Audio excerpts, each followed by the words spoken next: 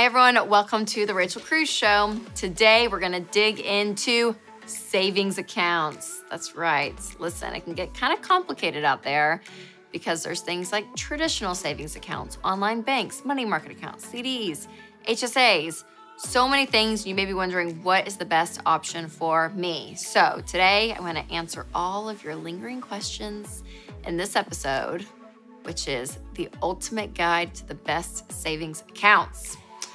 So, we will start with traditional savings account. Mm-hmm. We've all used this before, probably. It's free when you sign up for checking at a brick and mortar bank. And with traditional savings accounts, you get a limited number of transactions and withdrawals per month, usually around six.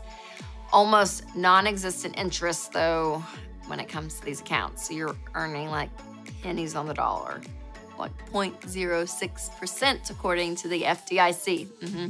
Yes, you're getting basically nothing, let's just be honest. But it's a safe place to keep money that you won't be using for a while, like your starter emergency fund, which I cannot emphasize enough. It is so important, you guys. There's a couple places you can put it, but again, a traditional savings account is one of those options. Next up is online savings accounts. So these are basically like traditional savings accounts, but you're not going to go to a brick and mortar location. Like there's not a physical location because it's online. And because of that, you might earn higher interest rates, which is great. And obviously, this is another great option for your emergency fund. So, online banks that you've probably heard of are Axos, Ally, Varo, and there's many others, but those are some of the popular ones. But make sure if you do an online bank that you opt for one that is insured by the FDIC, which is the Federal Deposit Insurance Corporation. Don't forget that.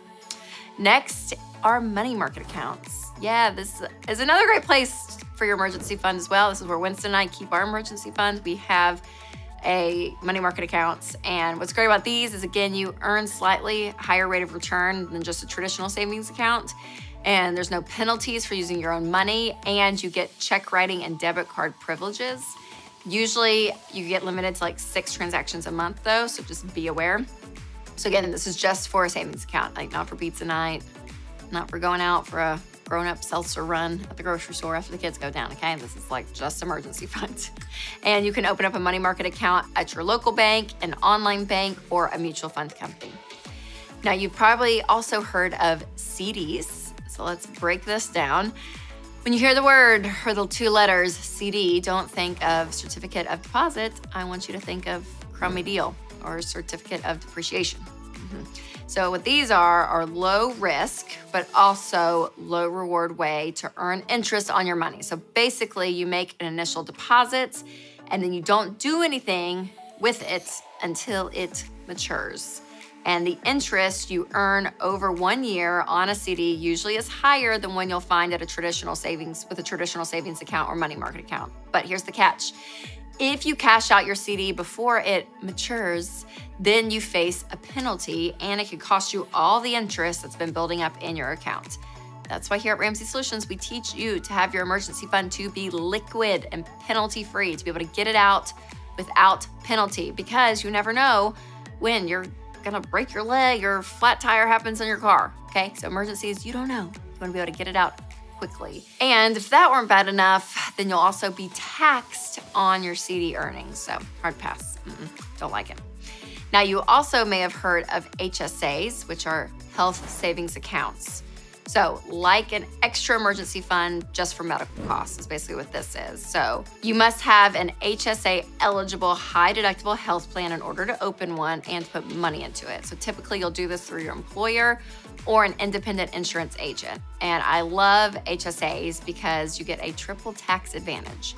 You're not taxed on the savings you put into an HSA, which is great. So, if you spend money on medical expenses out of this, you're not taxed.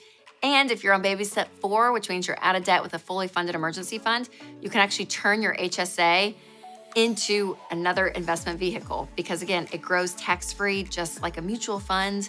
It's an amazing thing. So, triple tax advantage with the HSA, it's awesome. So, again, you can use it for medical expenses, but if you don't, you leave it in there, don't touch it, let it grow. It's like another investment. It's amazing. So, those are some savings accounts that you need to consider when you think about it. But remember, if you have nothing right now, like no savings, nothing, that means you're starting on baby step one.